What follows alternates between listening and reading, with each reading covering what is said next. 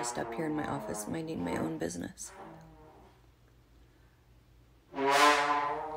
What did I do to deserve this?